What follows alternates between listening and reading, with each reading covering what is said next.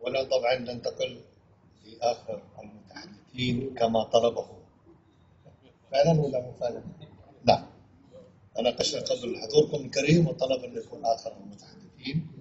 الأستاذ الدكتور سيد علي إسماعيل أستاذ المسح العربي بكلية الآداب جامعة حلوان له 32 كتابا في تاريخ المسح العربي وتوثيقه.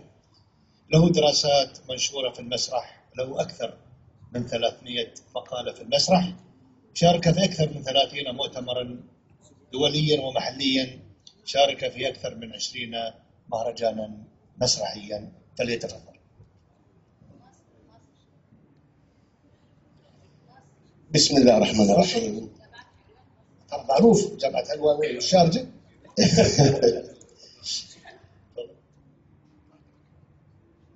أتمنى آه، أن أكون يعني خفيفا عليكم في هذا الأمر. أولا في البداية لابد من تفرقة كبيرة جدا بين السيرة الذاتية والسيرة الغيرية لأن الناس أو المعظم أو الأغلب الأعم بيدمج الاثنين وبيعتبرهم واحد وهذا شيء غير مقبول. عنوان الندوة مصلحة السيرة الذاتية ذاكرة عربية. هذا معناه بأننا نتحدث عن سيرة ذاتية داخل المسرح العربي. وبالتالي السيرة الغيرية هي كل ما يكتبه الإنسان عن الآخر. لو كتبت مسرحية عن جمال عبد الناصر دي تعتبر سيرة غيرية وليست ذاتية. السيرة الذاتية أكون أنا كاتب مسرحي أكتب مسرحية عن حياتي أو جزء من حياتي. هنا مسرحة السيرة الذاتية. هذا الأمر موجود جدا في الرواية وفي الشعر في المسرح من النادر. وبالتالي طبعا لأن أنا بتكلم عن بحث أو عن شغلي لابد أن يكون بين إيدي نص. أو نقفل واحد آه لابد أن يكون في إيدي نص. هنا النقطة دي يعني لابد أن يكون في عندي نص نص مسرحي لازم نقفل واحد منهم. مش عارف خلاص. آه ده معناه إن لابد يكون في إيدي نص مسرحي كتبه طيب النص المسرحي يحمل أحد أمرين أو الأمرين معا مقدمة ونص. بيكتبه الكاتب نفسه. لو أنا اتكلمت عن الجزئية ديت سأجد في المقدمات في بعض المقدمات المسرحيات الكاتب يكتب جزءا من حياته أو حقيقة موجودة في المقدمة تفيد في سيرته الذاتية. بصورة سريعة سأتوقف عند أول من فعلها وهو سليم خليل النقاش اللبناني. عندما جاء أو سيأتي إلى مصر لأول مرة لتمثيل المسرح العربي في مصر سنة 1876 كان المفروض يأتي 1875 لكن وباء الكوليرا ضرب في بيروت فمنعوا السفن فتأجل السنة. عشان كده كان المسرح العربي في مصر سي... سيدخل 1875 كتب مقدمة وهي آه كتب مسرحية ترجمة مسرحية مي. فكتب في المقدمة وهي مقدمة نادرة في الطبعة الأولى ولم تنشر في أي طبعات أخرى. الطبعة الأولى طبعت في بيروت 1875 يقول فيها أو بيتكلم عن مصر وتطور مصر ومصر الملجأ و و وبيبدأ في مدح الخديوي إسماعيل. أهم سطرين في هذه المقدمة يقول فيما معناه طبعا أنا هنشر هذا البحث يقول فيما يعني في النص كده وقد لجأت مع من يلجؤون إلى باب ولي النعم الخديوي إسماعيل. ناخد بالنا من العبارة. لإدخال المسرح باللغة العربية في الديار المصرية. فأنعم علي بالقبول. وهنا بيتكلم عن لسان خديوي مش بيتكلم عن واحد بيلعب معاه في الشارع. ده معناه وهذه جملة خطيرة. وليست تمثيل المسرح بنفس النص إدخال المسرح باللغة العربية إلى الديار المصرية. وده معناه الحقيقة دي طبعا أنا عم يعني وافق. طب هنا السؤال الكلام ده 1875 76 لما جاء.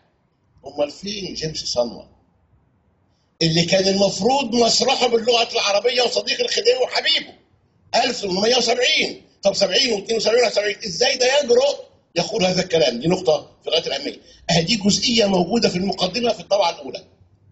المقدمة الثانية طالما ذكرنا جيمس سانوا وأنا دايما بقول جيمس سانوا لأن خطأ أن نقول يعقوب سانوا وهنا بقى الكلمة الخطيرة من أطلق هذا الاسم عليه فيليب طرازي اللي هو أول مدير للمكتبة آه، الوطنية في بيروت.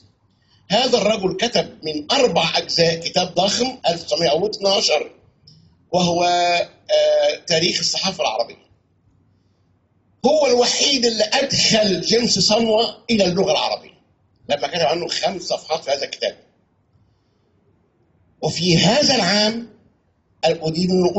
وده الخطأ التاريخي 1911 بدأ فيليب طراز يحضر الكتاب. فكان بيبعت لكل أصحاب الصحف باللغة العربية في العالم رسالة اكتبوا لي سيرته الذاتيه فجيمس ساموا كتب سيرته الذاتيه طبعا مش كتب كتب خطوط لكن فيليب طراز اللي كتبها. يعني الموجود في كتاب تاريخ الصحافة العربية بخط يد جيمس صنوع هنا لما جاء فيليب طرازي كتب آل يعقوب صنوع وأدخل اسم اللغة العربية كتعريف في هذا العام على وجه الخصوص اتنشرت مسرحية موليير مصر وما يقاسيه والناس لم تنتبه إلى أن المسرحية إهداها مهدى إلى فيليب طرازي.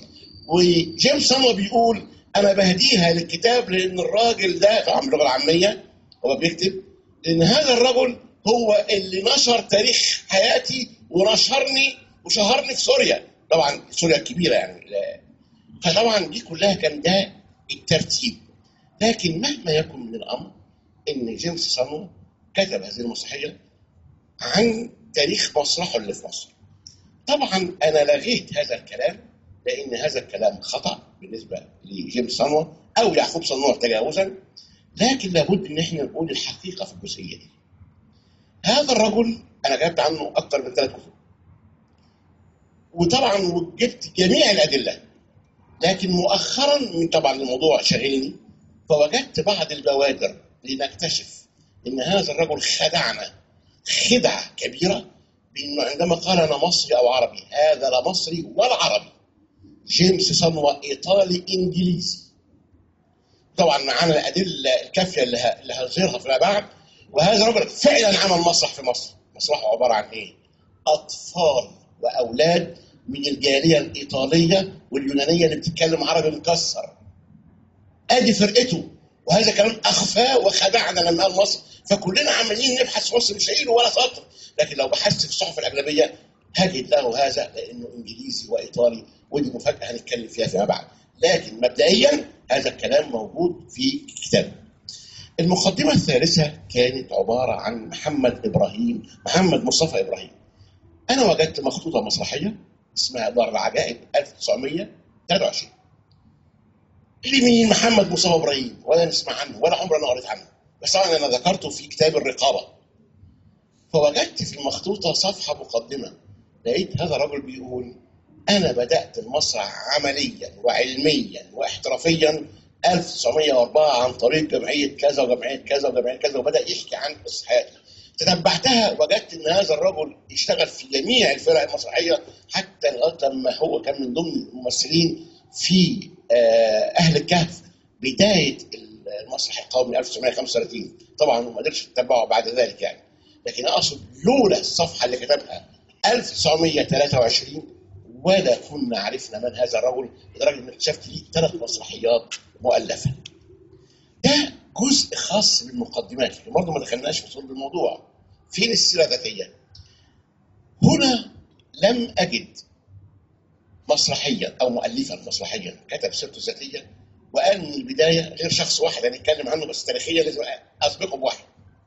في 1915 وجدت إعلانا منشورا عن مسرحية قلب المرأة. مثلتها فرقة جورج أبيض وسلام حجازي. تأليف محمد لطفي جمعه المحامي. طبعا المسرحية كلها أجنبية بحتة، كلها أحداثها تدور في فرنسا وفي سويسرا وهي اسمها مويلف وهو اسمه لورانزو وجوزها اسمه خراتشوف وأشياء من هذا طبعا بيئة أوروبية بحتة. 1915 محمد لطفي طبعا في ذلك الوقت عندما أعلنت للأسف كان في خطأ في الإعلان تأليف محمد لطفي جمعة. تاليف إيه؟ اجنبيه كلها فجاء عباس حافظ أحد النقاد وكتب أكثر من مقالة نقديه هجومية على محمد لطفي جمعه وقال له أنت سارق هذه هذه مسرحيه أكيد أجنبية وأنت ترجمتها وتدعي إنك مؤلفها المشكلة إن لطفي جمعه محامي كبير في ذلك الوقت. لم يرد ولم يرفع قضية حتى سب أو قصف أو تشهير لعباس حافظ. ومقالات مش مجرد كلمة مقالات يعني بتقول وعرض صفحه الجريده طبعا كان شيء غريب. الصمت المريب ده. بعد مرور ما يقرب من حوالي 30 سنة محمد لطفي جمعة كتب مذكراته تذكار السبا عن فترة دراسته في أوروبا. ليه؟ هذا كان في كلية الحقوق وعمل خطبة في تأبين مصطفى كامل 1908 فالاستعمار فصله من الكلية. فسافر إلى أوروبا ليدرس على حسابه الخاص القانون. تعرف على الأديبة الروسية اوجاستا دامانسكي هذه الفتاة طبعا كتب المذكرات بتاعته عنها أو عن الفترة دي. إزاي حبها إزاي أحب؟ طبعا كانت أكبر منه سنا وكانت متزوجة ومنفصلة عن زوجها. كيف أخذته إلى المتاحف؟ كيف كانت تترجم له الكتب؟ و و فهو كتب كل كتاباته وكل أدبه وكل شهرته كان بسبب هذه الأديبة. إلى أن جاء السطر الخطير. وقال هذه المرأة التي عشت معها و و وعملت وعملت وعملت عملت مشكلة بسيطة جدا ادنتني إلى الموت يعني كنت أنتحر. لدرجة إني يعني سويت الدنيا في وشي. فما كان مني إلا أن كتبت قلب المرأة وسودت صفحتها ووجهها افتن وتاريخها وما كان ينبغي أن أفعل ذلك. وهنا نكتشف إن المذكرات بالكامل لما نراجعها مع المسرحيه كان هو بيتكلم وهنا التفسير. لماذا لم يرد على المهاجمين؟ ولماذا لم يرد على إن المسرحيه مؤلفة بالفعل واتهامه بأن هو مترجمها كان لأنه بيتكلم عن قصة حياته. حتى المذكرات 1947 لما كتبها كتبها تذكار صبا بخط يده وظلت محفوظة عند ابنه رابح رابح لطفي جمعة. المستشار الكبير المعروف وكان أحد المحكمين في قضية طابة فلما تعرفت عليه أعطاني هذه المذكرات وأعطاني مجموعة مسرحيات والده كاملة وحتى نشرتها في المجلس الأعلى للثقافة 2001 لكن المذكرات هو ابنه اللي نشرها. نشرها سنة كام؟ 1999 يعني ظلت قلب المرأة لا أحد يعلم سرها 80 سنة. حتى نكتشف إن دي أول مسرحيه تقع في ايدينا سيرة ذاتية. من كاتب عن نفسه لنفسه في نفس النص. كان الاديب الآخر بقى مفاجاه شوية وهو حافظ نجيب.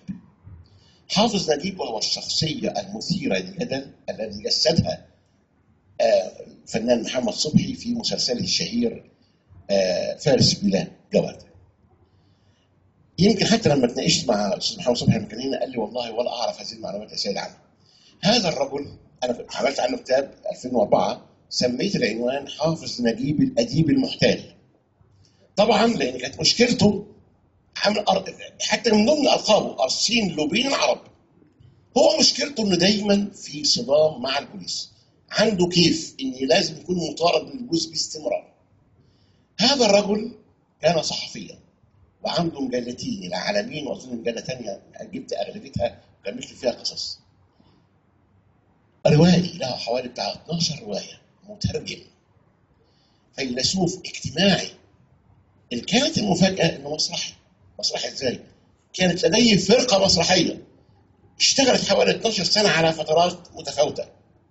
بس الجميل في الأمر إنه كان بيكتب قصة حياته في مسرحيات وبيمثلها قصة حياته دي اللي اتنشرت بعد ذلك أو بعد وفاته بسنة 1946 اللي هي اعترافات حافظ نجيب. هذه الاعترافات عندما نقرأها ونرجع للمسرحيات اللي مش موجودة لانها مش منشوره كانت مخطوطة وجدت مخطوطين نشرتهم وهي مسرحية الحب والحيلة ومحور السياسة وجدت إنها بتتكلم تماما عن فترات مهمة جدا من حياته اللي نكتشفها بعد ذلك في اعترافاته لما نيجي نقارن. المسرحية الأولى كتبت ومثلت 1915 الحب والحيلة هي عبارة عن قصة إن كان في إحدى الأميرات الفرنسيات موجودة في مصر آه، بتتفرج على السياحة أو شيء فهو اشتغل عندها مرشد سياحي أحبها أحبته والفترة انتهت. فأراد أن يسافر لها إلى فرنسا. لسببين يجدد العلاقة في الوقت نفسه يهرب من البوليس اللي بيطارده فكان دايما هو طبعا أستاذ في التزوير. يزور في الاسم وهكذا. طبعا طلع يمكن في اعترافاته يجي 20 شخصيه فذهب بشخصية مختلفة واشتغل في قصرها طبعا شيء بقى من الدراما وما إلى آخره يعني من الخيال إن اشتغل عندها آه، تنكر في صورة آه، آه، خادم ومغني وفارس ويعمل القصة ويمكن يمثلها محمد صبحي في هذه الجزئية. طبعا ان هو كان حافظ نجيب متعدد الوجوه ومتعدد الشخصيات. ودي نقطة اللي بتهم قوي. محمد صبحي يحب قوي الادوار اللي فيها كثرة التنكر والشخصيات المتعددة.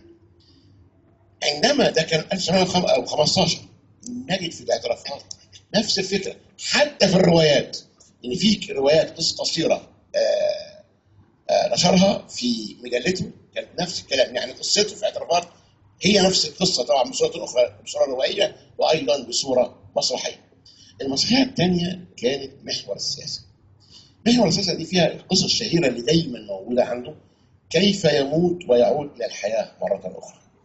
كيف يموت إن كان عليه يعني قواضي كثيره جدا والجزء بتاعته في كل مكان وكان بيتنكر فمش خلاص يعني امور أز- يعني تأزمت معه فاضطر إن هو يجد له صديق طبيب بيخترع دواء ان ممكن يديله حوالي 12 ساعة في صورة الميت يعني جسمه فيه سبات أو في يعني موت سريري زي ما بنقول ولكن يعاد بعد مفعول الدواء بعد 12 ساعة وبالفعل بيموت ويأمن الناس ويبلغ وبيدفن وبتسقط جميع القضايا وفي المساء بتعود إليه طبعا يعني المفعول بينتهي بيخرج وبيعيش بشخصية أخرى آه يعني آه ويمارس الحياة. دي اللي موجودة وده اللي كان موجود عند حافظ نجم. حاليا لن آه أجد شيء يمكن آه، الاستاذ عواد قال آه، على استاذه وفاء إنها أملك لكن هنا السؤال إن أنا لما بتكلم ما بتكلمش عن عرض أنا بتكلم اسمه نص في إيدي. فهل استاذه وفاء مثلا هذا النص قالت من البداية إن دي قصة حياتي نقطة مهمة. نفس الفكرة عند الأستاذ غنام غنام إن عنده نصين أو عرضين ودراما مهمين جدا عائد إلى حيفا وساموت في المنفى. عائد عائد إلى حيفا ممكن تكون بتمس جزء من حياته لكن ساموت في المنفى هي سيره ذاتية له أو ملحمه له و- وللاسره لكن برضه ده عرض يهمني قوي إنه يعني لابد أن يكتب وينشر حتى يبقى عندنا الداتا اللي موجود مع ملاحظة طبعا هو في البداية بيتكلم عن غنام غنام فخلاص ده اسم يعني بيعترف. لأن طبعا الاهم حاجة في شرط السيرة الذاتية المسرحية أن تعترف أو إن تديني إشارة بانك تكتب عن نفسك وليس عن غيرك. وبإذن الله طبعا هذا الموضوع أنا كاتبه في ورق. طبعا مش عايز أثقل عليكم لكن هننشره أو أحطه في موقعي أو في شيء اللي قراته طبعا بالهوامش وهذه الأحداث كلها بالجرانين والتوثيق والوثائق. حتى المخطوطات اللي بتكلم عنها وضعت الصور ليها ويعني أشكركم في النهاية. شكرا. بسم الله الرحمن الرحيم. في البداية لابد ان أضع نقاط مهمة جدا. أنا لي مشروع في الكتابة. لا أخرج عن نطاقه حتى يكتمل أو أموت دونه لا أكتب في شيء كتب من قبل. لا أذكر شيئا معروفا إلا لو كان في اختلافات. دائما آتي بالجديد وده مشروعي. هنا أكتب عن التاريخ أكتب عن الوثائق أكتب عن شخصيات لها أثر وانتهت ونسيت. هذا هو نظام. وبالتالي بعتمد دائما على البدايات مرحلة لا يكتب فيها في العالم العربي يمكن في العالم كله في المسرح العربي إلا خمسة ستة يمكن نصهم ماتوا. البدايات بالذات بالمناسبة ده مش كلامي ده كلام سيبستيان جادومسكي في بولندا عندما ذكر في دراسة مش- يعني منشورة له عندما تقرؤون تاريخ المسرح العربي لديكم ثلاثة. ذكرهم بالترتيب. محمد يوسف نجم رحمة الله عليه فيليب جروف وسيد علي. دي كانت شهادة عمري. وبالتالي أنا مصر على إني أنا في هذه الجزئية.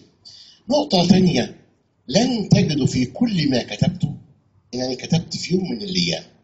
عن الإخراج أو عن التمثيل أو عن الديكور مش لعبتي مش مكاني. أنا راجل آه يعني ممكن مقالة في الصحافة شيء انطباعي زي مبسوط بيه آه لكن بأصول علمية آسف مش تبعي. أنا كل شغلي على النص الوثيقة الشيء المكتوب. وبالتالي لما اتكلمت عن أستاذ غنام قلت انشر نصك علشان أقدر أعتمد عليه. دون النشر لا. وبالتالي الأستاذ عصام السيد طبعا ذكر آه، ست مسامير ومسافر ظهر احتمال وأنا بقول إن هذه نصوص لم تنشر. وبالتالي هي أنت بتتكلم عن عروض. أنا لا أتحدث عن عروض. سجن النساء نعم هو منشور. أنا لماذا لم أكتبه؟ لأن أنا محدد في البحث. هو المفروض أنا أنا أخطأت إن أنا ما جبتش البحث يتصور وتوزع لكم حقيقي. لكن أنا هنشره يعني من بكرة. لأن أنا دايما بكون محدد في شغلي. أنا بتكلم عن بدايات هذه الظاهرة. عشان كده لما اتكلمت كله إن القديم كما قلت لن أتحدث عن شيء معروف. فانا اتيت لكم بشيء لا نعرفه. طبعا فتحية العسال ما أقدرش إن أنا آجي لأن معنى ذلك إن أنا لابد وأنا وبرضه حددت ان في مصر عن مصري يعني ما اتكلمتش عن المغربي أو الجزائري. أنا يعني خلينا يعني وأنا برضه نحدد ده. لكن في نقطة تانية برضه لابد إن إحنا نذكرها. أنا كل شغلي على النظام القديم البدايات. دي منطقة الحمد لله قدرت يعني أمتلك فيها منطقة كويسة جدا. ليه أتركها وأروح مكان تاني لآخرين؟ يعني خلينا واقعيين يمكن ده في شيء اتفاق ضمني بيني وبين عمرو دوارة. لا أنا أقول لك بس. يعني مثلا ودي حقيقة. يعني عمرو دوارة حقيقي إحنا متفقين اتفاق مبدئي أو يعني ضمني. أنا كل شغل في البدايات وهو يبدأ من بعد الخمسينات. يعني أشتغل لك كله من البدايات في العالم العربي لغايه الخمسينات. بعد الخمسينات ده شغله. ولا اتعدى حتى لما يتكلم أنا بصمت دي حقيقة لابد إن إحنا نتكلم عنها. وبالتالي هنيجي برضو أنتوا معظم كلامكم كله كان عن العروض. ماليش علاقة. طالما مفيش نص في إيدي أنا بتعامل مع النص اللي في إيدي. طبعا كان في نقطة مهمة هو إحنا حطينا طب نحط شروط عن السيرة. أنا قلت كاتب مسرحي كتب مسرحية عن نفسه. هنا أظن الأستاذة بسمة. موجودة ولا مش موجودة. آه لما قالت إيه جدوى هذا أو ما يعني السؤال في هذا المعنى يعني. طبعا ده في نقطة مهمة. ده لأن يعني جيمس صانوا مشكلته إن ما عنديش له أدلة. كل كلامه اكاذيب الدليل الوحيد اللي ممسوك حتى رسائل الدكتوراه تعتمد على تاريخه في إيه؟ في نص المسرحي لما قال ولما عاد يعني أصبح النص هو المصدر الوحيد لتاريخ جيمس صانوا في المسرحيه فشفتوا بقى السيرة الذاتيه يعني مثلا بعد عمر طويل الأستاذ غنام لما ينشر نصه ده ويجي يدرس في يوم من الأيام هاخد سيرته الذاتيه واعتمد عليها. يعني أقول في يوم كذا وكان أول بكذا أقول شهيد اذا أصبحت ممكن السيرة. ولأن هذا الجزئية الأدبية غير موجودة وأنا بتكلم برضو انها من ناحية النص الأدبي. ده شيء جديد. أنا بالأمانة يمكن الأستاذ عصام لما طلبني في هذه قال لي إحنا عندنا أنا ما حطيتش العنوان ده هو اللي حاطه مصلحه السيرة الذاتيه فسألني سؤال. في تاريخ المسرح العربي مثل هذه النماذج؟ قلت له ابشر خيرا. ليه؟ أنا لم أبحث هذا ده يمكن الموضوع كله ما كملش أسبوعين ثلاثة. لأني أنا حافظ نجيب عامل كتابه فنشر المخطوطين. محمد لطفي جمعة عامل وأنا نشر 10 مساحات من دونيه وقلب المرأة. فأنا ما انتبهتش اني أنا عارف إن السيره ذاتيه لكن لما لقيتها في عنوان قلت إن أنا أذكرها لانها غير موجودة بالنمط القوي قلت أنا بحث وبحث كلمه بحث بحث في البدايات ولم أبحث في العصر الحالي أو ما إلى آخره وأظن يعني أنا اخر متحدثين واصر ان يكون الأخير.